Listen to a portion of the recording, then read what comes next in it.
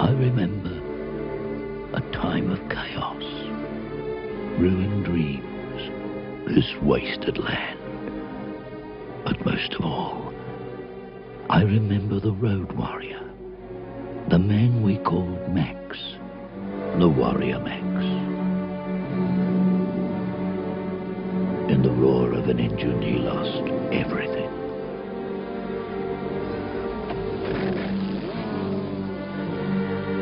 Became a shell of a man, a burnt out, desolate man, a man haunted by the demons of his past, a man who wandered out into the wasteland. And it was here, in this blighted place, that he learned to live again.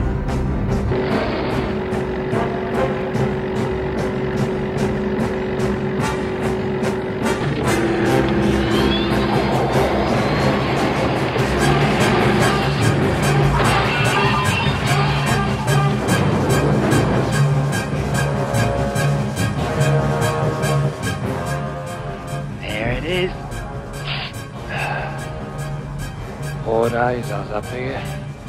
How's I gonna get in and get the gas? Then this trash arrived. Moss to a flame. Round and round, attack, attack. Who are you? How did you get through out there? Where did you find him? Two or three miles down the road, left for dead. We had a deal. He said if I brought him back here, he'd give me some gas. Just walk away. Give me the pump, the oil, the gasoline, and the whole compound, and I spare you lives. Remember one thing that is more than just a tanker of gas. That is our lifeline. You want to get out of here? You talk to me.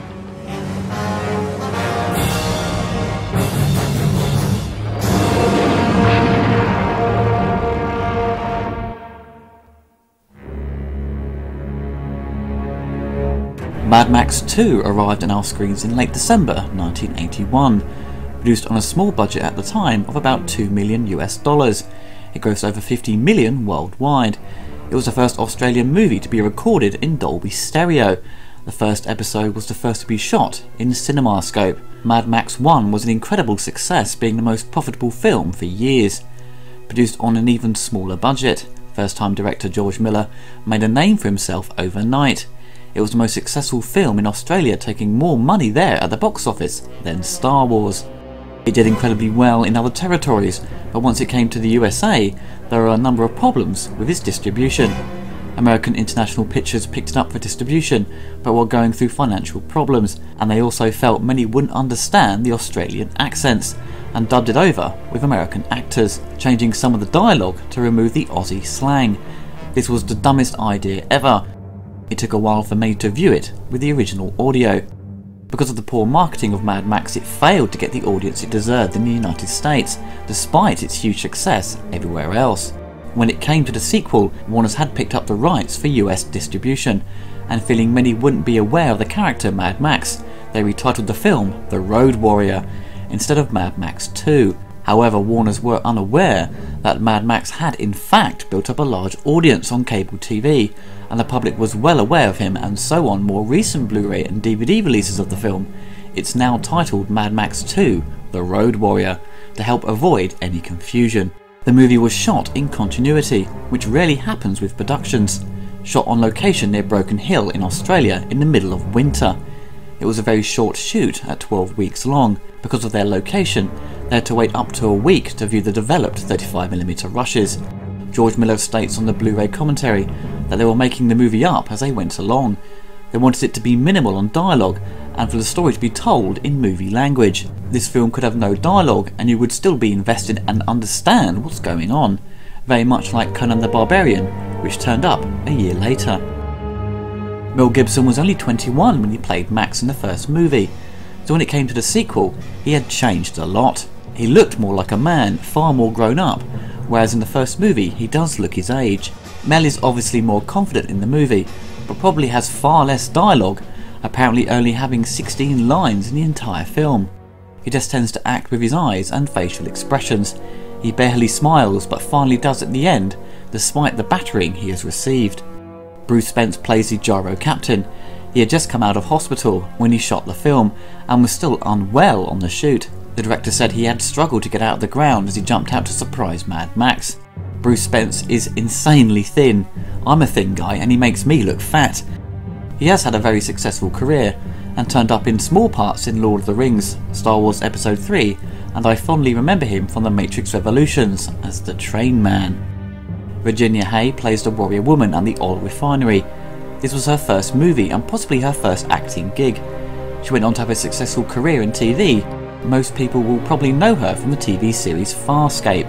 The leader of the Marauders is Humungus, played by some random Swedish bodybuilder. Originally they thought the character would be Goose, Max's mate from the first film who got burned in an attack, but they decided against it in the end. But there are a few hints that indicate this idea, such as the horrible burns to his face, the use of the police cars, and the similar firearm he uses.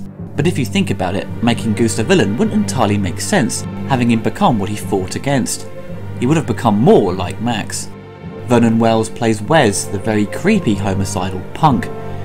He is a fan favourite for playing over the top villains, most fondly remembered for playing Bennett in Commando, who the actor Vernon Wells refers to as Freddie Mercury on steroids. Also playing as Mr. Igoe in Innerspace, and making a cameo appearance in Weird Science. He has also had a successful career since starring in Mad Max 2, and has been heavily involved in the Power Rangers Time Force series. The film opens with a prologue shot in the Academy ratio, explaining what happened in the future, and also shows scenes from Mad Max 1. You never really know what year it is. The narration gives many a head start on what's happening.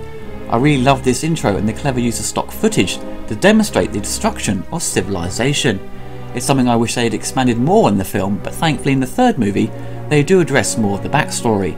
Then it cuts to glorious cinemascope with Max racing ahead, trying to escape from a gang, led by a crazed motorcycle rider, Wes. He manages to take out two of the gang's vehicles. Wes gets hurt in the process but manages to escape. After collecting some fuel from the destroyed cars, he spots a nearby auto gyro and inspects it for fuel.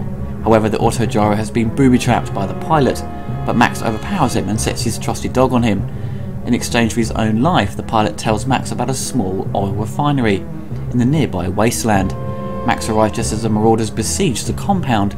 The leader, a large muscular man with a hockey mask covering his disfigured face, called the Humungus, tries to convince the settlers to surrender their stronghold in exchange for safe passage out of his territory. The gang is desperate for more fuel, and it's the only valuable substance in the wasteland. Max and the gyro captain stake out the refinery and watch a group of settlers attempt to escape, but the gang capture, torture, rape, and kill the woman, whilst our partner is left for dead. Max makes a deal with a mortally wounded man to bring him back to the compound in exchange for a tank of petrol. The man dies shortly after Max returns him, and the settlers' leader can't honour the deal because it wasn't confirmed before the man's death. The settlers are on the verge of killing Max when the marauders return, and Humungus repeats his offer. Max offers the leader of the group another deal. He will retrieve the abandoned Mack semi truck he saw a few days ago, capable of hauling the settlers' tanker trailer of fuel. In exchange for his freedom, his vehicle, and as much petrol as he can take with him. The settlers accept, but keep Max's car to ensure his cooperation. Max sneaks out, joining forces with the gyro captain. Max drives the semi-truck back to the compound, narrowly evading Humungus's men, and thus gains the settlers' trust, and they want him to escape with him, but Max opts to collect his petrol and leave.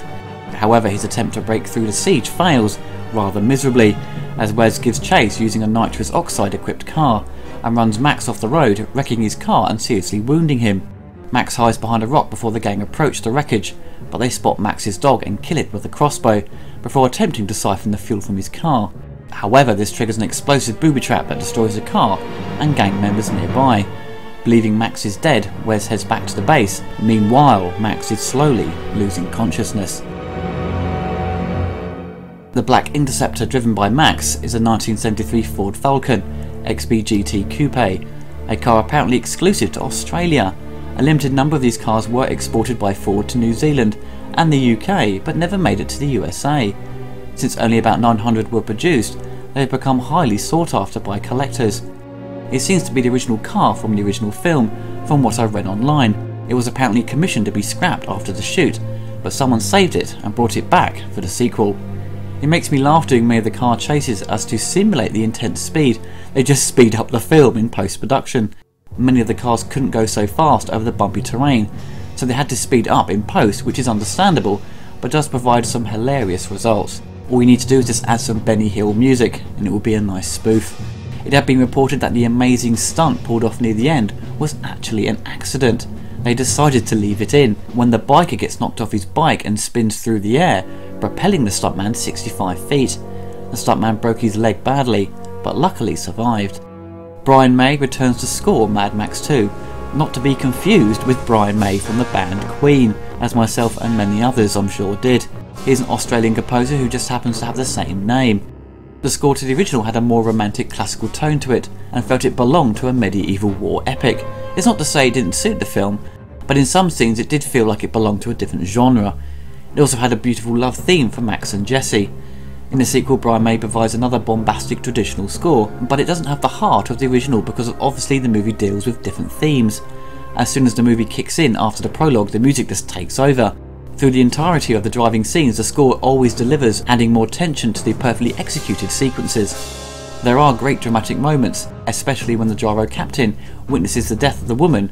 It's a really stirring score. The soundtrack isn't too difficult to track down and is available on iTunes. I don't think the complete score is available on CD, as it's hard to tell how much music Brian May composed. The CD has a track of sound effects from the film, which you rarely find on soundtrack releases. The Mad Max trilogy has been spoofed, homaged, and has heavily influenced many films and even cartoons in their visual design and action set pieces. Fist of the North Star is probably the most heavily influenced by the series, with the lead character Kenshiro walking around an apocalyptic future battling against thugs who seem to have been taken straight out of a Mad Max movie. Mad Max himself is a very likeable character despite him being very self centered and only really out to do things to benefit himself. The opening narration to the sequel indicates that the death of his wife and child has changed him. He clearly prefers to be alone, and it's never suggested what his role is, other than just travelling the wasteland. Even though he does come across as heartless, in the sequels he does show signs of his past self, showing a connection to the feral kid and in Thunderdome where he meets the kids who remind me of the Lost Boys from Peter Pan. Mad Max 2 is considered the best out of the trilogy, down to its constant action and great pace. The film feels like one long car chase that never stops for a breather. It obviously does stop for dialogue to be exchanged, but you barely notice it, I think its story is the weakest out of the three. It's wafer thin in content, but it does have an incredible atmosphere, and as I said, tremendous action to make up for those shortcomings. Each film in the series feels fundamentally different to the next. They could exist without having any connection, they could all be separate movies. One of the scenes that always drives me nuts because I don't understand why Max can be so stupid is when he leaves the base after getting the petrol he needs and heads straight towards the enemy and obviously gets taken out within minutes, ruining his chance to escape.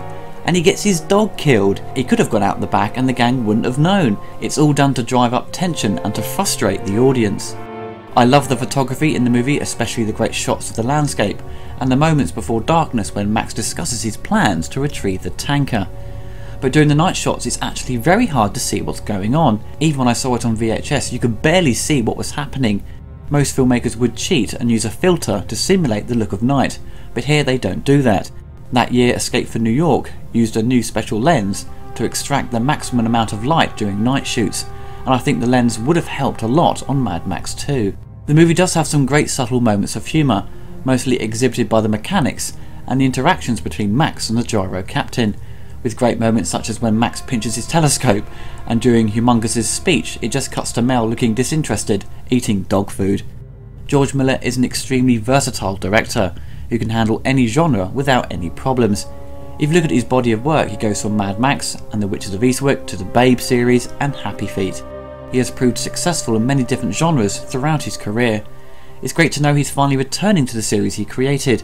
It's taken years for a fourth movie to happen, the new movie is called Fury Road, starring the talented Tom Hardy. Some reports say it's a reboot, whereas on IMDb it says it's set before Mad Max 2. I'm sure more information will be revealed once the trailer comes out. Mad Max 2 is certainly up there in the list of best sequels.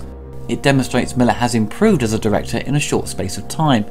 With the help of the great DP Dean Semler, the camera setups really help create a large movie even on a small budget, and the production team provided a technically competent movie that is fondly remembered for its daring stunts and action set pieces. A lot of praise has to be given to the stuntmen, who went above and beyond to demonstrate they had no fear. The film is highly respected by audiences and critics alike. Roger Ebert awarded the film 3.5 stars out of 4, saying it was skillful filmmaking and a film like no other. Critic Leonard Maltin even went out of his way to provide an introduction to the movie on the DVD and Blu ray release. Despite the discussion being only 5 minutes long, he summed up the quality of the movie extremely well. I know some people don't get on with Mad Max 2 because of its lack of story and its dark and violent approach, but the film does clearly what it says on the tin. It's an aggressive action movie that's not for the faint hearted, a non stop chase. What you see on screen is real, no CG or optical effects, but behind the mental action scenes is a lead character that has universal appeal. He is a survivor, a champion of the oppressed, and that's what makes him timeless.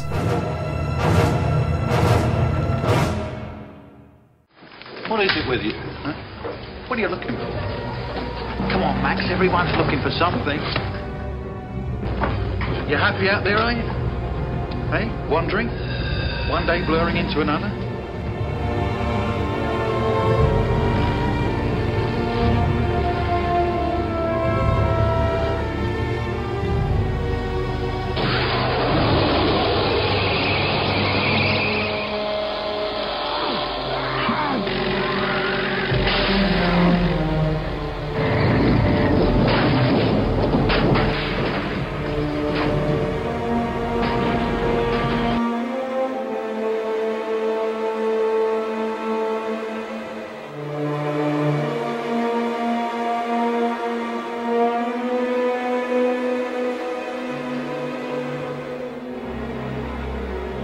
Crash or crash through? Now, at this point, that's all they want the tanker. So they come straight after us. So we'll use that to punch our way out. If it's all the same to you, I'll drive that tanker. And how do you think you'd do it? I mean, look at you. You couldn't even drive a wheelchair. You should look at yourself, Max. You're a mess. Come on, cut the crap. On the best chance you've got.